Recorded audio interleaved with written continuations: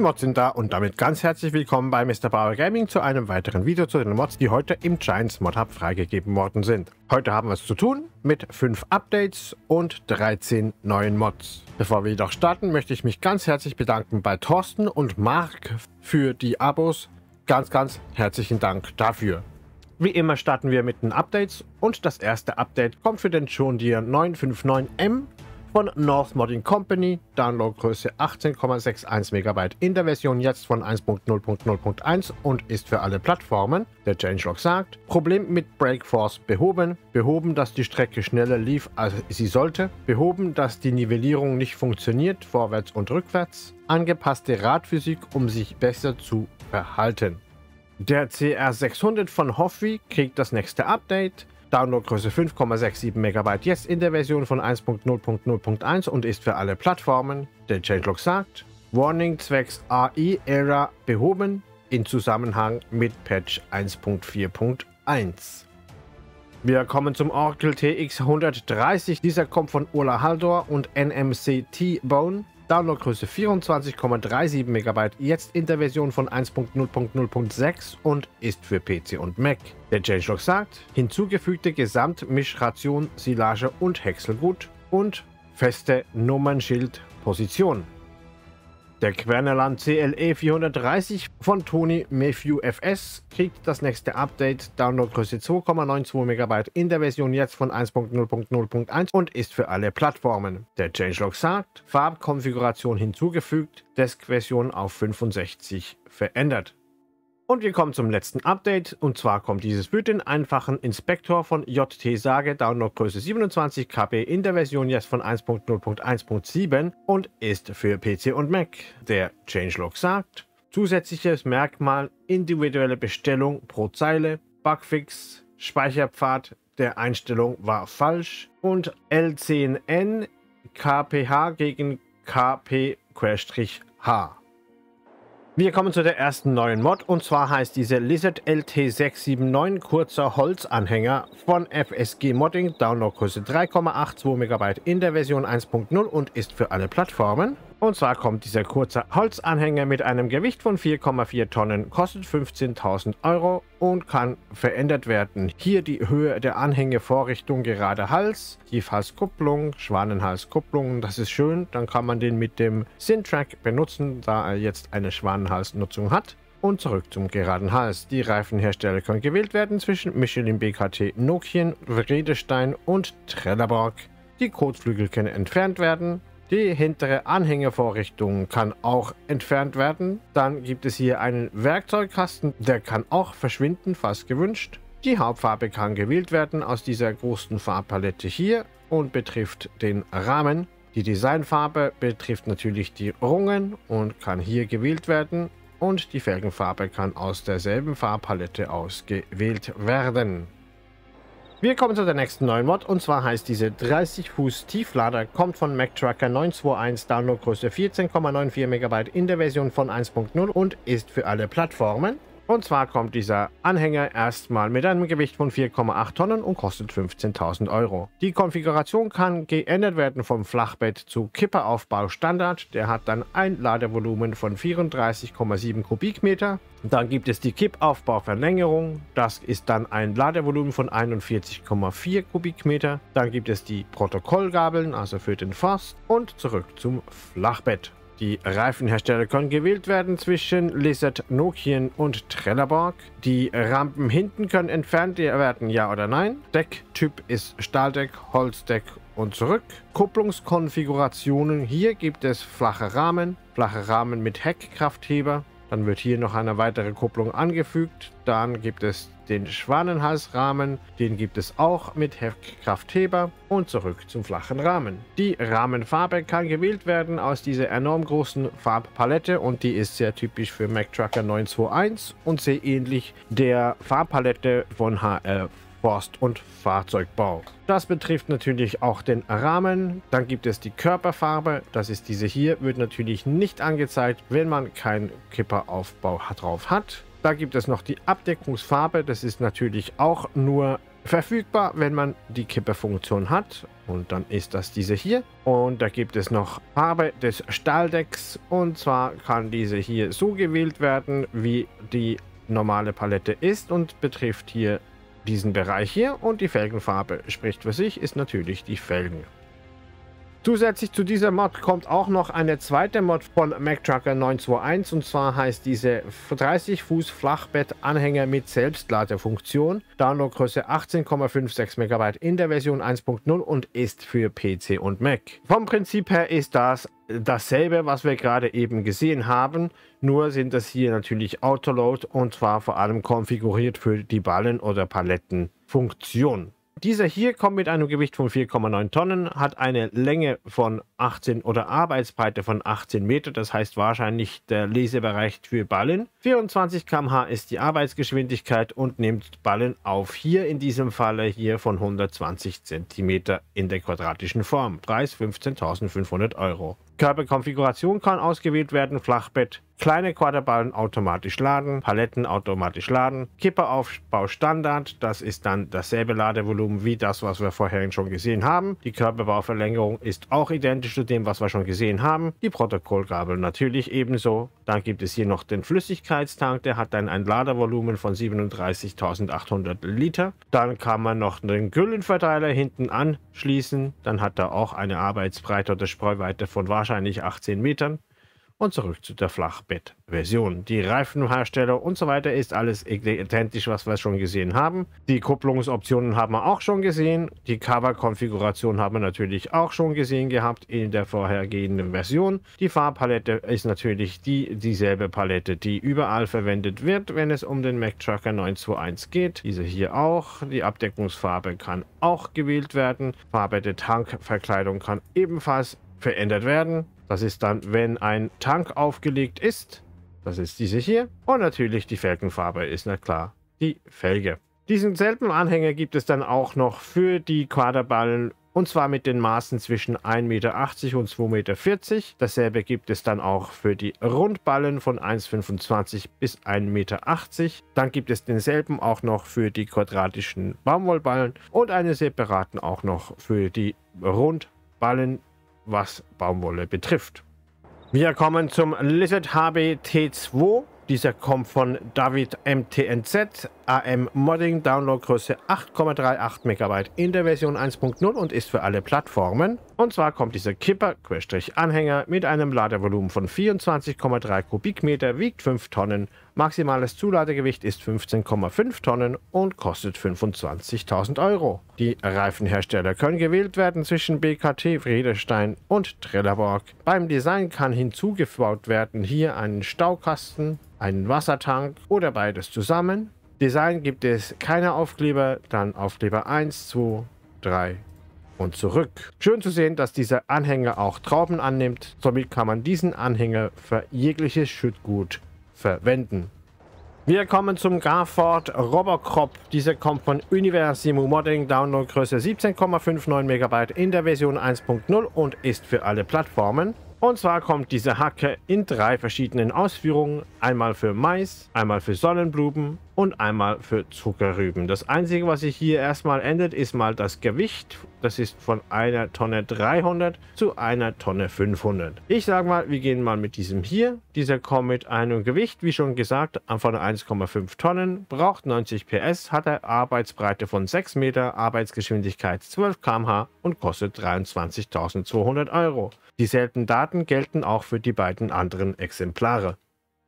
Wir kommen zum Mac Pinnacle 64R. Der kommt vom ARM-Team, Downloadgröße 11,6 MB in der Version 1.0 und ist für alle Plattformen. Und zwar kommt dieser Lastwagen erstmal mit einer Leistung von 425 PS, wird manuell geschaltet, hat eine Tankfüllmenge für Diesel von 886 Litern, 80 km/h ist die Maximalgeschwindigkeit, das Ladevolumen liegt bei 22 Kubikmetern und kostet 157.000 Euro. Das Design kann hier geändert werden und zwar von keiner Leiter zu Mitleiter. Anhängerkupplung Standard kann auch noch geändert werden mit einer zusätzlichen Kupplung hinten. Dann gibt es die Motorenausführungen der Pinnacle 6x4 MP7 mit 425 PS, den MP8 mit 455 PS und auch noch einmal den MP8 mit 505 PS. Die Reifenvarianten kann ich einmal durchgehen, einmal Breitreifen und einmal Standard. Die Hauptfarbe kann gewählt werden aus der Standardpalette und betrifft natürlich die Fahrerkabine.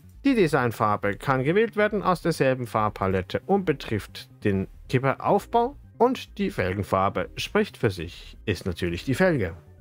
Wir kommen zum AW 362 Capover. Dieser kommt von Adams Kong, Downloadgröße 21,2 MB in der Version von 1.0 und ist für alle Plattformen. Und zwar kommt dieser LKW in drei verschiedenen Ausführungen. Wir starten mal mit dem 362 Capover DD60. Dieser kommt mit einer standardmäßigen Leistung von 330 PS, wird manuell geschaltet, hat eine Tankfüllmenge für Diesel von 400 Litern, Maximalgeschwindigkeit liegt bei 95 km/h, wiegt 8,8 Tonnen und kostet 30.000 Euro. Hm, das ist ja günstiger als jeder PKW. Die Reifenhersteller können gewählt werden zwischen Trelleborg und Continental. Winterweißer und Streifen gibt es hier verschiedenste Optionen und zwar zwischen Option 1 und 5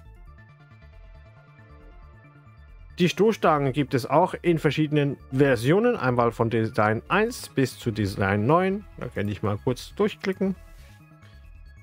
Dann gibt es dasselbe bei der Sonnenblende, gibt es Design 1 bis zu Design 12. Da gibt es verschiedene Färbungen und auch verschiedene Formen. Kotflügel gibt es auch verschiedene Möglichkeiten und glaube ich auch hier sind es 12 Optionen. Kann man einfach schön mal durchspielen. Auspuff gibt es auch hier 13 verschiedene Versionen. Da gehe ich jetzt einfach nur kurz mal alle durchgeklickt. Und dann gibt es bei der Motorenausführung gibt es hier die 330 PS Version mit 11 Gängen. Dann gibt es dasselbe mit 13 Gängen, 15 Gängen und 18 Gang Getriebe. Dann gibt es die 350 äh, PS Version, die gibt es auch mit denselben Abstufungen zwischen 11 und 18 Gängen. Dann gibt es noch die 375 PS Version, die hat dann auch dieselben Optionen zwischen 11 und 18 Gängen. Zusätzlich dazu haben wir noch die 400 PS Version, auch hier wieder alle Optionen bezüglich der Gangschaltung. Dann gibt es noch die 430 PS Version. Auch hier gibt es alle Möglichkeiten. Und dann geht es zurück. Die Hauptfarbe kann gewählt werden aus dieser groß erweiterten Standardpalette und betrifft natürlich die Fahrerhauskabine. Die Designfarbe kann geändert werden und betrifft etwas, was ich nicht herausgefunden habe, wo sich was verändert. Die Felgenfarbe kann gewählt werden zwischen Chrom, Grau, Weiß und Schwarz. Dann haben wir die zweite Version, das ist der Cup Over Dog. Dieser kommt mit einer standardmäßigen Leistung von 425 PS. Alles andere bleibt identisch. Der Preis liegt ebenfalls bei 30.000 Euro. Hier gibt es die Dreiachs-Version. Das ist diese hier. Dann gibt es auch hier verschiedene Reifenhersteller und das ist dann soweit alles dazu. Wir kommen zu der ähm, Leistungsmerkmal oder der Motorenausführung. Gibt es wie gesagt die 425 PS Version und auch hier gibt es die Möglichkeit zwischen 11 und 18 Gängen zu wählen. Dann gibt es die 581 PS Version und auch hier mit allen Optionen. Und dann geht es zurück. Die Hauptfarbe und die anderen Farboptionen haben wir ja schon gesehen. Dann gibt es noch den 8V92er und zwar kommt dieser mit der Leistung von 1800 PS, hat 18 Gänge und wird manuell geschaltet natürlich. Alles andere bleibt auch identisch. Auch hier gibt es dieselben Konfigurationsmöglichkeiten und hierzu gibt es keine weiteren Motorenoptionen.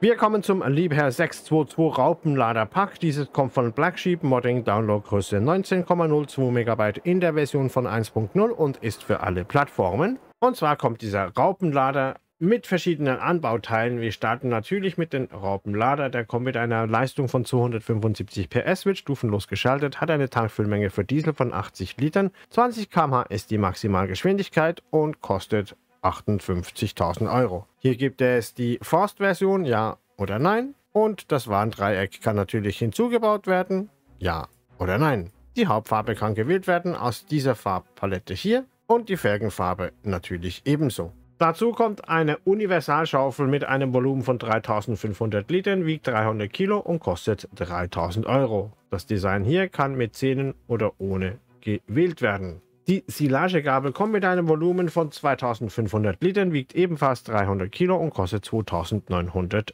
Euro. Des Weiteren haben wir hier eine Gabelzange und zwar kann die verwendet werden, um Holzstämme zu transportieren. Diese kommt mit einem Volumen von 2500 Liter und wiegt 600 Kilo. Der Preis 3600 Euro. Dann gibt es den Forstmulcher, den M422. Dieser kommt mit einem Gewicht von 300 Kilo, hat eine Arbeitsbreite von 3 Metern, Arbeitsgeschwindigkeit 6 km/h und kostet 6500 Euro. Auch hier gibt es eine Forst- oder Nicht-Forst-Version. Dann haben wir noch ein Zubaugewicht und zwar kommt dies mit 3 Tonnen Gewicht und kostet 1500 Euro. Und zu guter Letzt haben wir hier noch einen Pflug, der hat dann ein Gewicht von 925 Kilo, braucht 100 PS, hat eine Arbeitsbreite von 3 Metern, Arbeitsgeschwindigkeit 12 km/h und kostet 4500 Euro.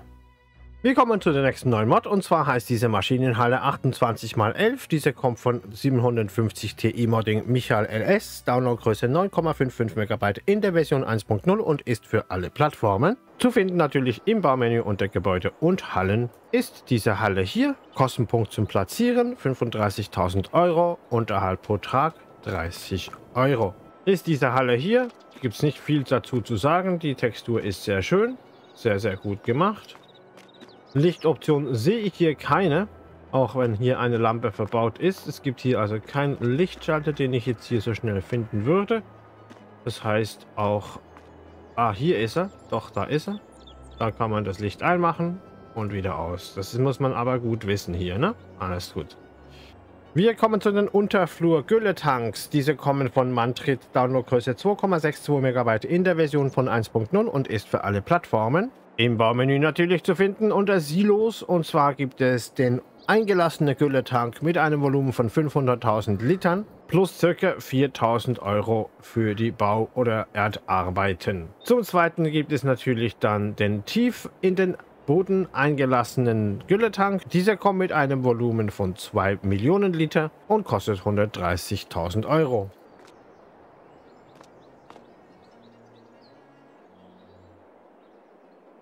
Wenn wen die grüne Beleuchtung hier stört, der kann hier hingehen, kann dies zu einer weißen Beleuchtung auswählen oder man kann auf dieser Seite die Beleuchtung komplett ausschalten und das gilt natürlich für beide. Hier kann ich die Beleuchtung ausschalten und hier kann ich die Beleuchtungsfarbe ändern.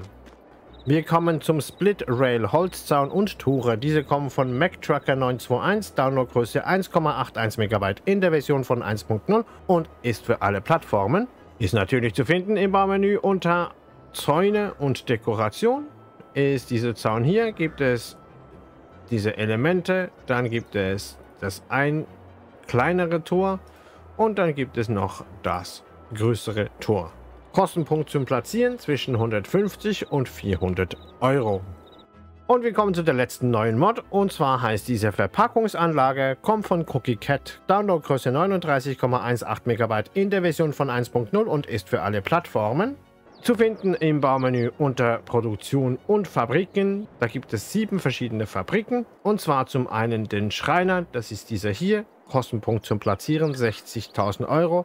Und hier wird produziert Möbel, Hackschnitzel und Pellets. Dann gibt es die Molkerei, das ist diese hier. Kostenpunkt zum Platzieren 70.000 Euro. Und hier wird produziert Butter, Käse, Schokolade und Sojamilch. Lagerungskapazität ist bei allen 2 Millionen Liter. Die nächste Fabrik, die hinzukommt, ist die Getreidemühle. Das ist diese hier. Die funktioniert ganz normal. Hier wird hergestellt Mehl aus Hirse, Weizen, Hafer und Gerste. Dann haben wir die Uatis Fabrik. Kostenpunkt zum Platzieren 90.000 Euro. Und produziert Müsli, Ketchup, Salat und Chips. Lagerung auch 2 Millionen Euro. Dann kommen wir zu der eigentlichen Verpackungsanlage. Und zwar zum Preis von 300.000 Euro. Und zwar werden hier produziert Lebensmittel, Gegenstände, Flüssigkeit und Reputation, Querstrich Ruf. Lagerung auch hier 2 Millionen Liter. Als nächstes haben wir die Spinnerei. Hier wird ganz herkömmlich hergestellt, Stoff und zwar aus den beiden Zutaten. Dann haben wir noch die Zuckermühle und zwar ist das diese hier, Kostenpunkt zum Platzieren 80.000 Euro, produziert Zucker und Sirup. Dann gibt es noch eine Verkaufsstation, das ist diese hier, 100 Euro zum Platzieren und verkauft alles, was im Spiel verkauft werden kann. In diesem Falle hier wird in dieser Produktion, die da heißt Verpackungsanlage, werden die Lebensmittel, werden die Produkte aus den Produktionen, die Lebensmittel darstellen, zu Lebensmittel verarbeitet, also quasi eine Kategorie daraus erstellt. Bei den Objekten wird natürlich aus Kleider, Pellets und Möbel werden natürlich Objekte erstellt.